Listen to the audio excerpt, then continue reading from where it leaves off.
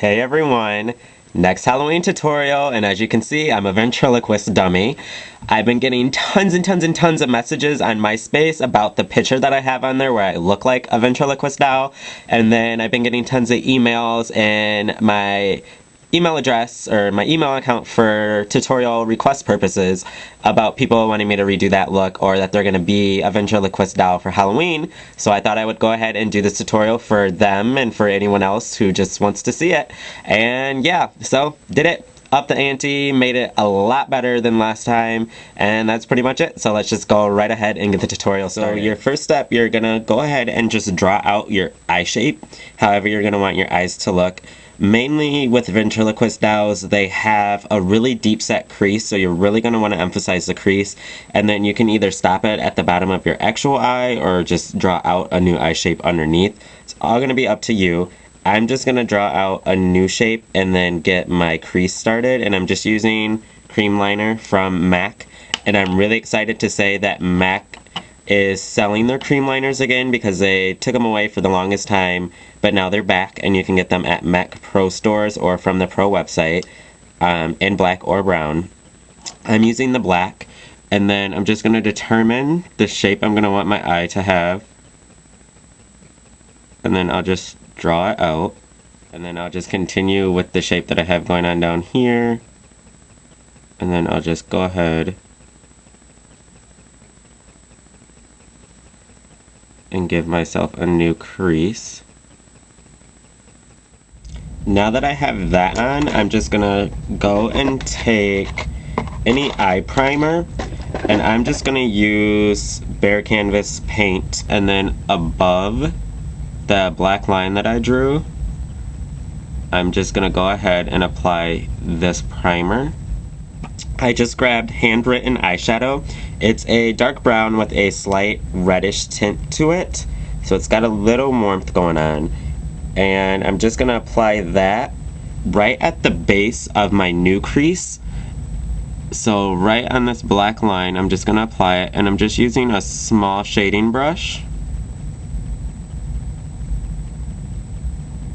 Wipe off all the extra powder that's on my brush right now and I always have a paper towel on my leg. I don't know if you guys ever notice, I always wipe my brushes off. There's always a paper towel on my leg so I can just dust colors off very easily. And then I'll just start to blend it out. Once that's done with the brown or whatever color, like you can use any color that you want to use for that. You could go with a bright blue, you can do greens, purple, any color, it doesn't matter. But now that that's done, I'm just going to take carbon eyeshadow.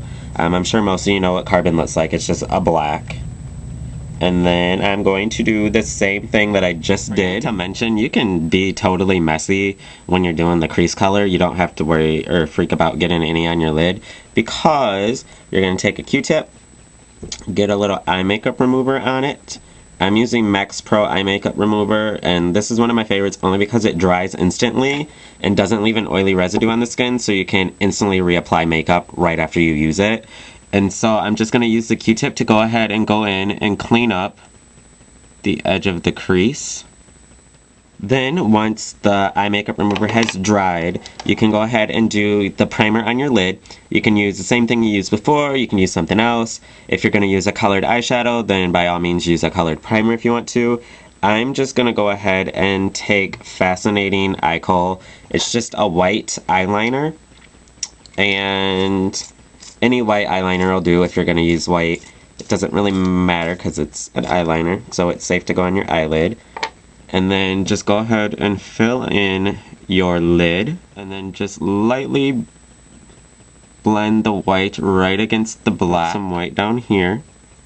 And then also get it on my waterline.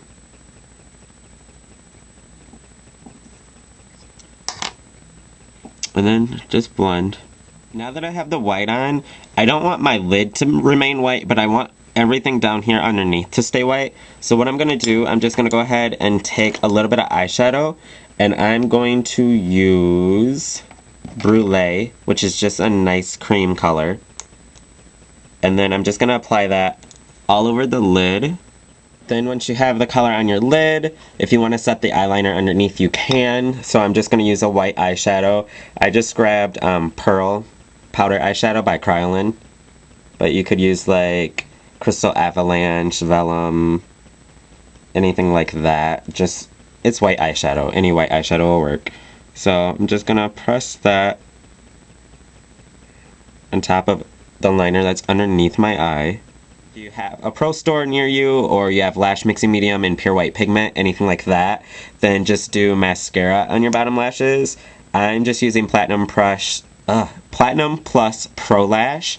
Ugh, that's a hard one to say. It's just white mascara. I used it in my Frozen video, but I'm just going to use it again. And I'm going to pick up a little espresso eyeshadow. It's just a brown. And I'm going to draw out the shape that I want with my brows. And just for fun, I'm going to do them how I'm going to do the brows for one of my Halloween costumes. But since I mentioned my brow is going to be lifted, I'm actually going to lift it now so I can see how I'm going to need to draw the shape on. Now that I have the brows on, and you can see they're drawn on uneven, I did that on purpose because I want one to go a little bit higher than the other. I don't want them to be symmetrical. So now that I have that on, I'm going to kind of hop away from the eyes just for a little bit, and then I'm actually going to start doing the skin. So I want my skin to look lighter, so I'm going to use a lighter foundation. I'm using Studio Fix Fluid because it's full coverage, and I can really, really pack it on and get heavy, heavy coverage out of this. And I pretty much want my skin to look as fake as possible. So if you really, really pack it on, this is going to be the one time that you're going to throw on tons and tons of makeup that looks as unnatural as possible. I'm going to go back to the eyes, and I'm going to finish the brows. Now I'm going to go ahead and take an eyeliner, or you could use a cream, anything like that, and really, really make the brow stand out. So I'm just going to go over what I already etched out with the eyeshadow. Now I'm going to repeat some of the steps that I did on the crease on my lower lash line, but my new lower lash line. I'm going to take Passionate eyeshadow, uh, handwritten eyeshadow, and just do the same thing, but I'm not going to blend them out as far. I'm just mainly going to focus on keeping the color pretty close to the line, but just to give a little bit more dimension. And then, I know I mentioned in an earlier video, I don't remember which one it was, but where you hold your brush, I think it was the video for the skull mask that I just did, I don't know. Um, but I mentioned how wherever you hold your brush depends on how much pressure and how like the color goes on or how soft everything will be. You'll notice that I already blended on this side. If I hold from far away, it's not really going to blend that harsh line. So I actually take it and I hold it right at the tip of the brush and kind of squeeze the bristles together. So I can really, really get the color to start blending.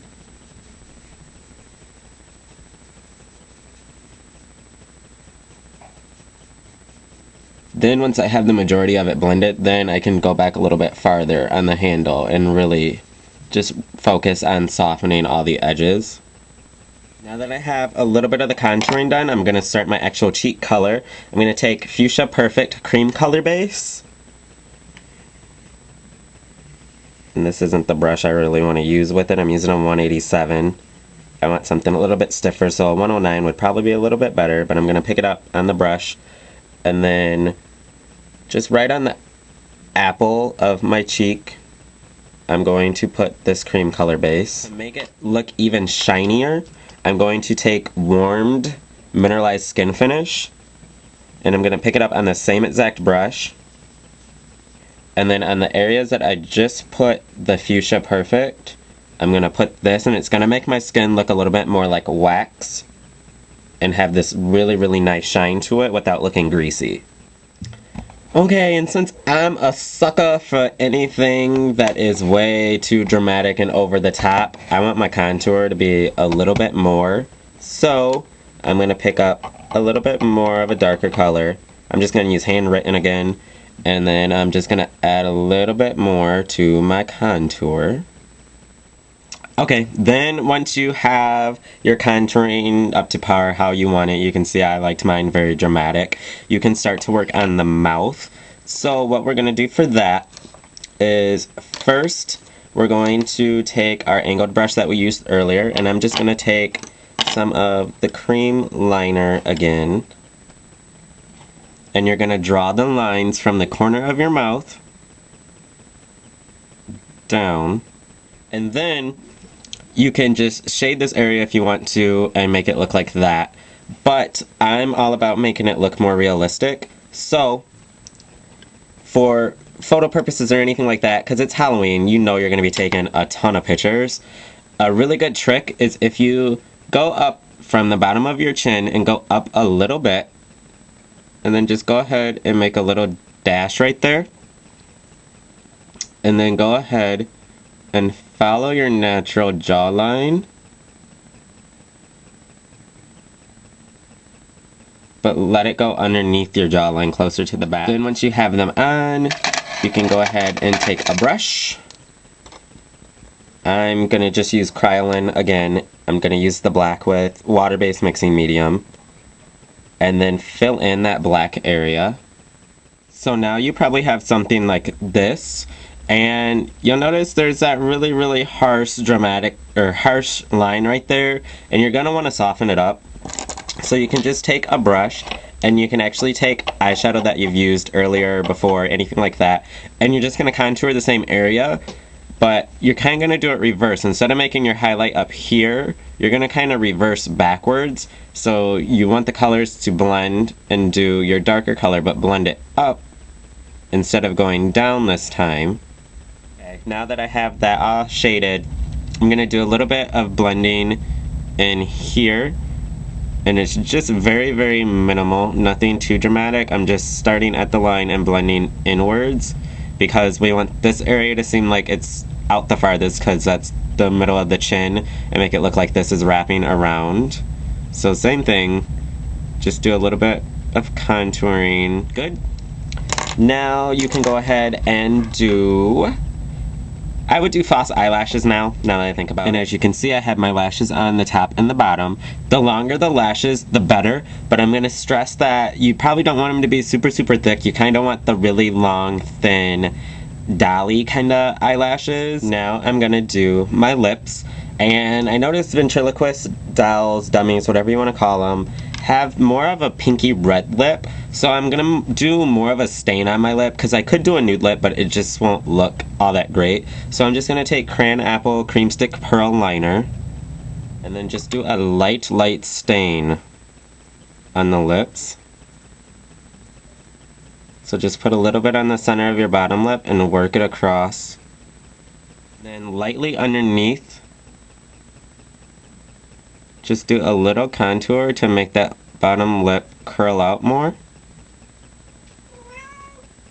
Oh, there's a cat. What?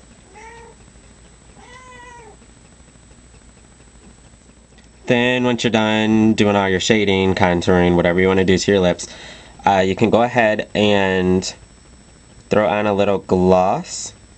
And as a little shout out to my friend Michael in Massachusetts, I'm going to use some Cushy White because we are cushy white buddies. And ample pink. Mm-hmm. And angel cream. But yeah, it's cushy white plush glass. Just gonna apply that. And then the very last step, or second to last step for a costume like this, the last step is getting dressed. Um, since my brows are like this, and I mentioned I was gonna make them look uneven in the way I did my crease, and I said pay attention, this is why. I'm going to take clear medical tape and spirit gum. apply the spirit gum where I'm going to want it. But then once you have that, you can take your tape and you can apply some of it to your tape too and do the same thing, make it sticky. But then I just place my tape on the spirit gum and you can see it's going to lift everything. Make sure it's on and then I just lift where I want it and tape. That's all I gotta do. And you can see how big of a difference it makes on each side and I'll actually probably bring it up just a little bit Finishing more. touch would be go ahead, touch up anything on your face that you think needs a little bit more, go throw on your gear, and then you're ready to go. So that concludes this tutorial. Hope you guys enjoyed it. Get a few tips and tricks to help you for your Halloween costume, and I will talk to all of you soon. Bye.